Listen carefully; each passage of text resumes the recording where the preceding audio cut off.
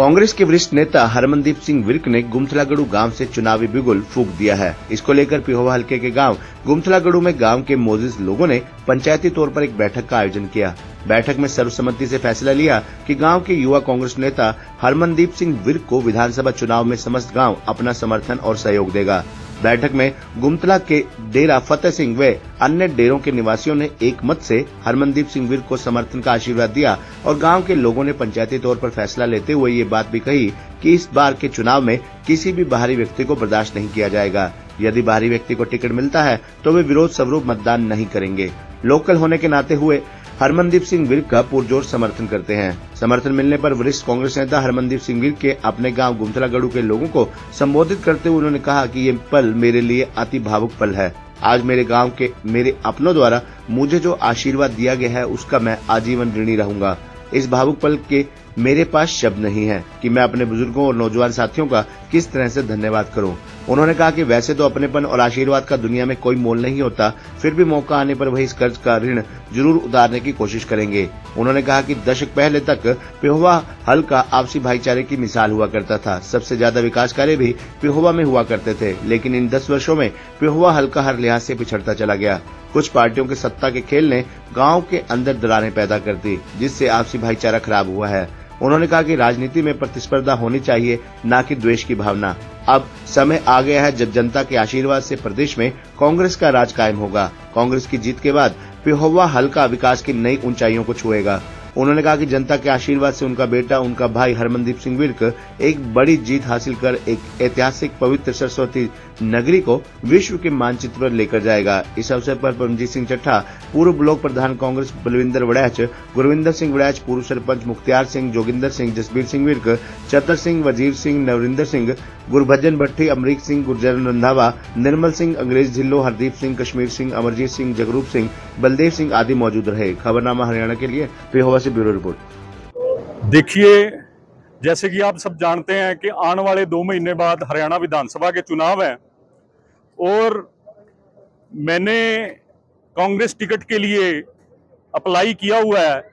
मैं पिछले 15-16 साल से कांग्रेस पार्टी से जुड़ा हूँ और मैं ये समझता हूँ कि मैंने कांग्रेस टिकट पे अप्लाई करा और आज मैं इस मुकाम पे पहुँचा हूँ, उसमें सबसे बड़ा जो अहम रोल है वो मेरे अपने परिवार का, मेरा गुमथला गढ़ू परिवार, जहाँ से मैं बचपन में रहा, पला, बड़ा, जहाँ मेरा सारा कुछ यहाँ जीवन निकला तो उस परिवार के बिना मैं कुछ नहीं हूँ। इस करके आज हमारे सारे गुमथला परिवार ने मीटिंग बुलाई थी और मैंने उन सबसे समर्थन की अपील करी है कि आप सब मेरा आने वाले चुनाव में समर्थन दो और मेरी अपील को प्रवान करते हुए समूह मेरे गुमथला परिवार ने, जो मेरा अपना परिवार है, उन्होंने मुझे आश्वासन दिया है कि हम कंधे से कंधा मिला के तेरे साथ हैं और तेरे को टिकट भी दिलवा के लाएँगे और तेरे को चुनाव भी जितवाएँगे। तो मैं सबका धन्यवाद भी करता हूँ कि उन्होंने मेरा हौसला बढ़ाया और मैं ये कहना चाहता हूँ कि आज एक ही आवाज़ है जनता में कि हमारे इलाके का जो नुमाइंदा होना चाहिए। वो हमारा यहाँ का लोकल होना चाहिए। तो इस पर भी सारों ने सहमति जताई है। तो मैं इनको विश्वास भी दिलवाया कि अगर भगवान ने मुझे इस मुकाम तक पहुँचाया तो मैं अपने पूरे पेवा इलाके को विश्व के मानचित्र में पहुंचाऊँगा। आने वाले विधानसभा चुनाव को लेकर लोगों से क्या अपील करेंगे? मैं तो आने वाले विधानसभा चुनाव में लोगों से यही अपील करूँगा कि आपने 10 साल का भाजपा का राज भी देखा है। और उससे पहले 10 साल कांग्रेस का राज, जिसमें मुख्यमंत्री चौधरी भूपेंद्र सिंह हुड्डा जी थे, वो राज भी आपने देखा तो अब समय आ चुका है। लोग आज कांग्रेस की ओर देख रहे हैं, क्योंकि बीजेपी ने 10 साल के राज में सिर्फ़ जुमले और घोषणाएँ तक सिर्फ़ सीमित रही बीजेपी। आज भी हमारे मुख्यमंत्री नायब सैनी जी सिर्फ़ घोषणा मंत्री तक सीमित हैं। कोई विकास कार्य इन 10 साल में बीजेपी ने नहीं किया।